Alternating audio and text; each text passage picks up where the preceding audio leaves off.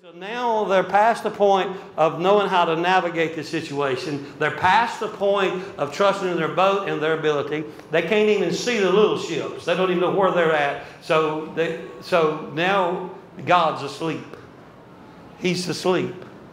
Have you ever felt like he was asleep? Y'all, let's Let's just be honest and have some church today. Okay, uh, uh, the, the quicker you say amen, the quicker we get to through. I have to quit at 10:30 regardless. Okay, and so, but it is 30 minutes. That's a long time down here in this sweat. All right. Okay. So, how many of you ever talked to God and you thought, you know, God, you need to kind of wake up because we got a serious situation here. Does anybody anybody know what I'm talking about? Okay, if I got anybody here, I need to preach to somebody that needs some peace. I need to preach to somebody that's looking at hell from wall to wall, and your life is gone to hell and gone, and you have no idea what you're going to do because you can't tell me that you're happy about the situation and the circumstances that we're facing as a nation, and you can't tell me that you're happy about what some of the churches are doing. They're just backing away, closing their mouths, and going to the house. Okay, they in the prayer closet, but they ain't doing nothing but shaking. It's time we need to open up our mouth and look at whatever your storm is. I don't care where it's at, what it is. The only thing that will change it is if you change the narrative and change the story and stand out on the bow of your ship and say, Peace, be still.